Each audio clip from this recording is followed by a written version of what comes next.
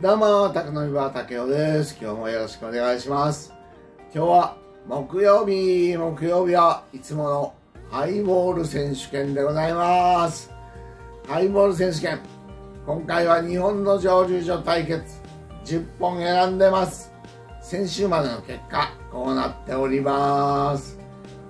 えー、事前に勝敗表は僕は見ておりませんが、まあ、さすがに全勝がいるのはちょっと頭の片隅にありまして、はい。で、えー、やっとね、中盤戦に選手から入ってきて、えー、全9戦あるので、えー、今4回り目に入ったところでございます。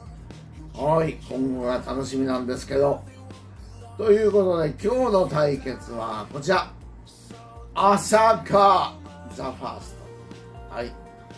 と、下でございます。下がね、全勝だったですよね。まあ、あの、でもね、まあ、そういう先入観なしに、今日の僕が飲んだ気分だけで判定を行います。で、まあ、あの、朝霞ザ・ファーストは、えー、っと、50度なんですね。シングルモルトです。うん。ちょっと飲み応えがあるぞという。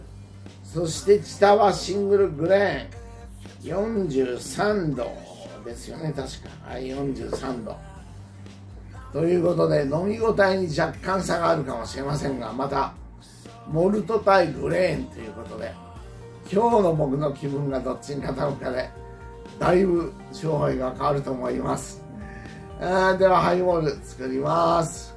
はい、ではハイボールをね、作りますけど、えーっと、ハイボール選手権、まあ、いつもの説明ですが、あのー、まあ、僕がですね、選んだ中から2つ持ってきて対決を毎回行うと。で、作り方はこうやって300ミリのグラスを氷でしっかり冷やして、溶けた水を捨てて、減った分の氷を足して、でウイスキーは30ミリ測ってちゃんと入れて、えー炭酸もね、えー満たして同じ条件のハイボールを2つ作ってそして僕があ両方とも飲み切って、えー今日の僕にはどっちの方が美味しかったというのを決めて先ほどあの出ましたあの勝敗表に落とし込んでいくという。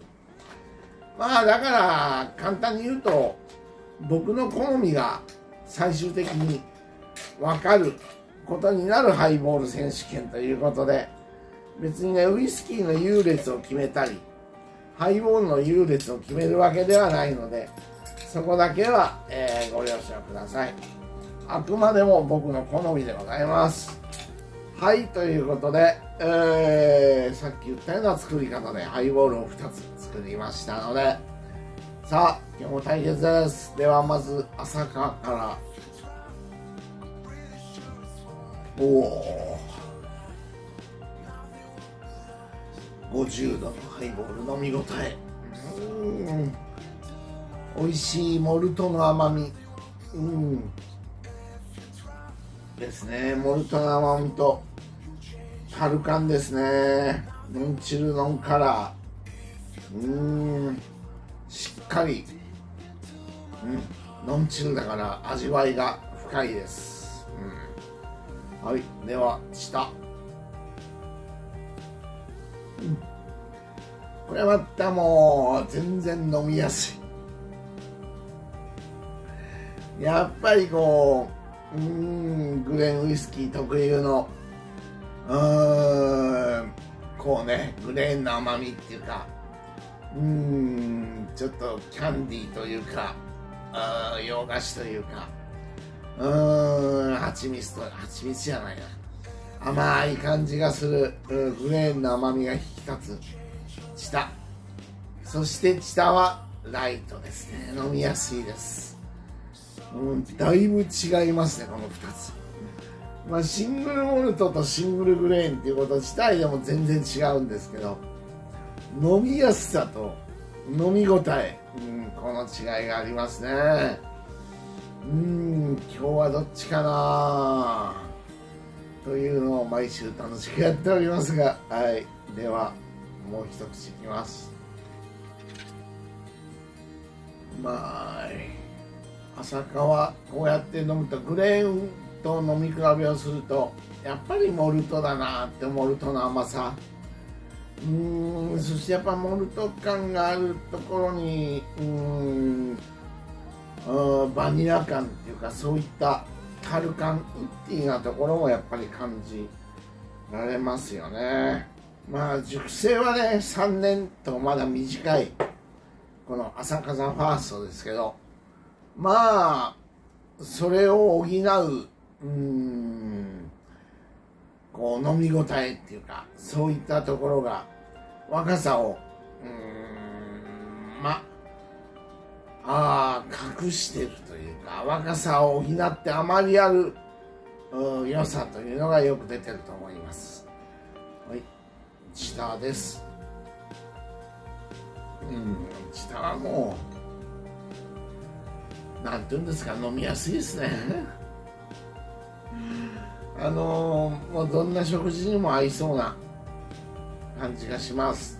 今日はねどっちも美味しいんでうん最終的に僕の気持ちというか僕の今日の体調とうん体の具合で飲み応えを取るか飲みやすさを取るかモルトを取るかグレーンを取るか、まあ、モルトの甘みグレーンの甘みどっちを取るか。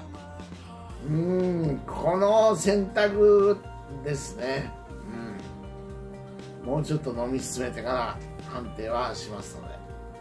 はい。では山崎うまい。今。あのこちらはグレーな甘みなんです。こちらはねモルトの甘みをしっかり感じられました。今の一口。うんやっぱりうん氷が溶けてきても飲み応えは薄まらないというかさすが50度あるっていう感じですかね。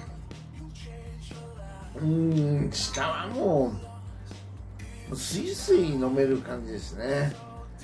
うんどんな食事にも合いそうな。まあグレーンウイスキーでもここまで飲みやすくまあさすがサントリーというか、そんな感じがします改めて、はい、もうちょっとですね。ここまで氷が溶けて薄まってもやっぱ朝霞はしっかりと味が残る。飲み応えがあります、うん。下は終始飲みやすいですね、うん、はいあと一口ずつですね。うん毎週ね木曜日のこのハイボール選手権の日はなんかああ大体これ夕食の前に取るんですけど僕は。うんあの一日の仕事を終えてえ最初に飲むハイボールがいいですよね。こんな美味しいハイボールをいただいて贅沢させてもらってます。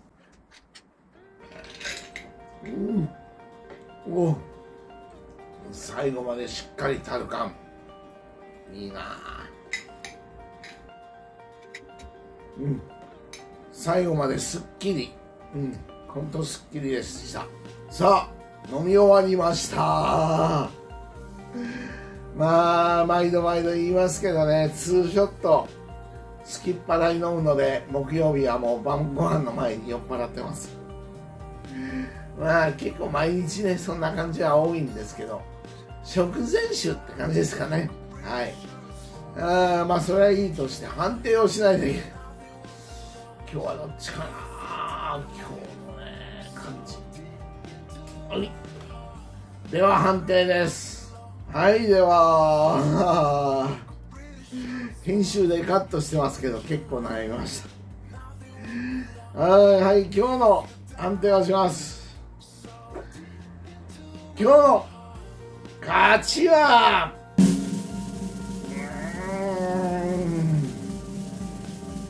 朝か。朝風ファースト勝ちです。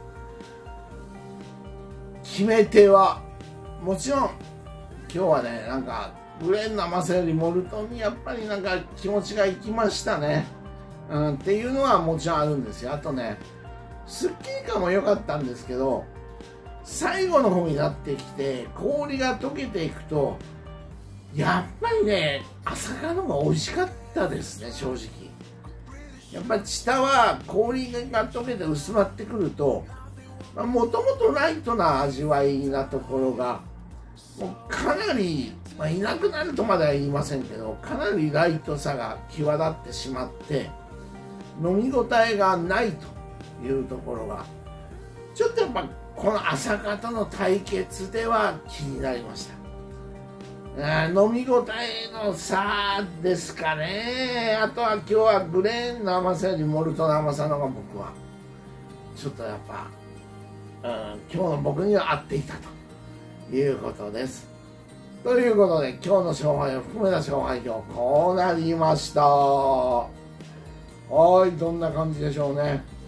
下に黒星がついたと。いうのはいいんですけど浅川は何勝何敗か覚えてません、えー、どうなるか、ね、4巡目です。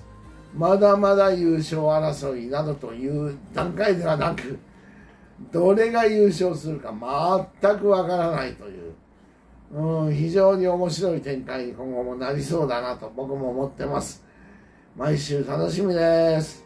はいということで今日はハイボール選手権をしました。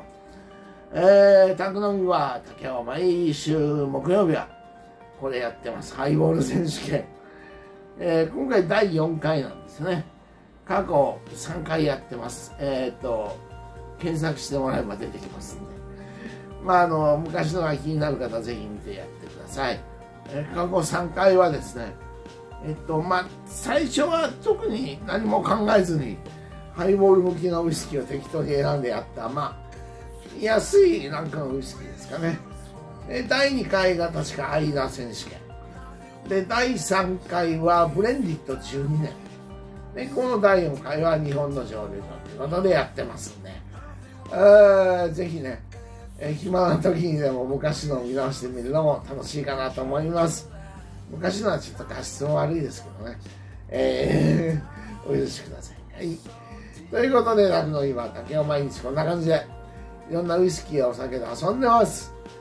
ウイスキー好き、お酒好きの方、ぜひチャンネル登録していただいて、一緒にウイスキーライフ、お酒ライフ楽しみましょう。はい、では今日の宅の今はこの辺で閉店です。